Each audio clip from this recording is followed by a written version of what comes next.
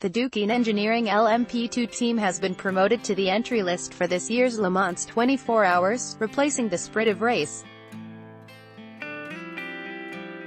The French outfit, which races an Oreca 07 in the European Le Mans Series, had been first on the reserve list when the second part of the entry list was announced at the start of March.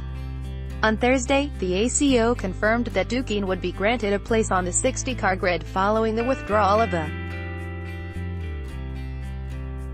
Two-time Le Mans winner Romain Dumas will join the squad alongside ELMS regulars Nico Jamin and Pierre Ragues.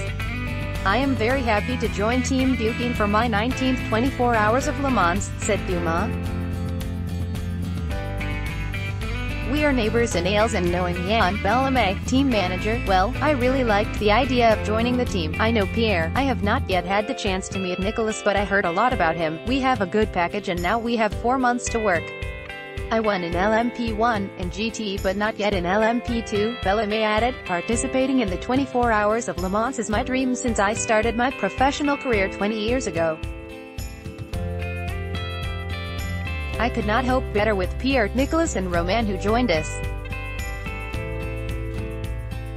I am very happy, he, Dumas, is a person that I appreciate a lot and he will bring all his experience to the team, Duqueine replacing the Danish squad High Class Racing, another ELMS competitor, is now top of the reserve list with its Dallara P217, followed by United Autosports second Ligier JS P217. Share the